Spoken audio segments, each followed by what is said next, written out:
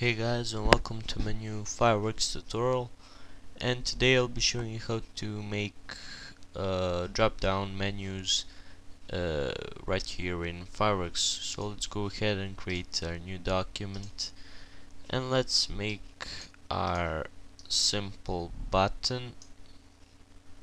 Go ahead and create what you like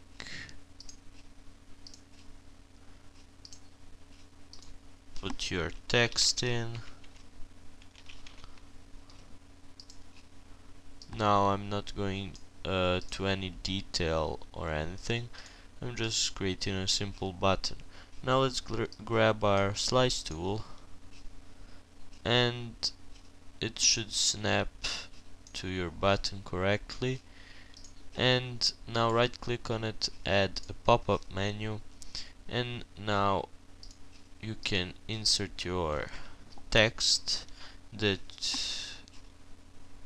you'll later see on your menu.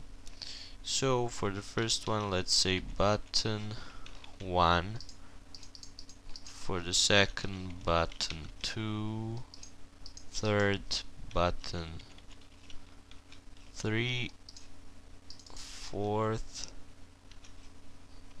button 4 also you can add links which I'll not add now and also the targets. Now you can change your appearance to your liking choose a font or anything choose the horizontal or size and stuff like that. Now you can go to advanced options and uh, choose some cell width, uh, cell padding, cell spacing, menu delays, borders and stuff like that. And later on you can choose your you can ch actually choose your position. So now that you, you're done you can simply click done. And now uh, let's preview it. Preview in browser browser internet explorer. And that's basically it.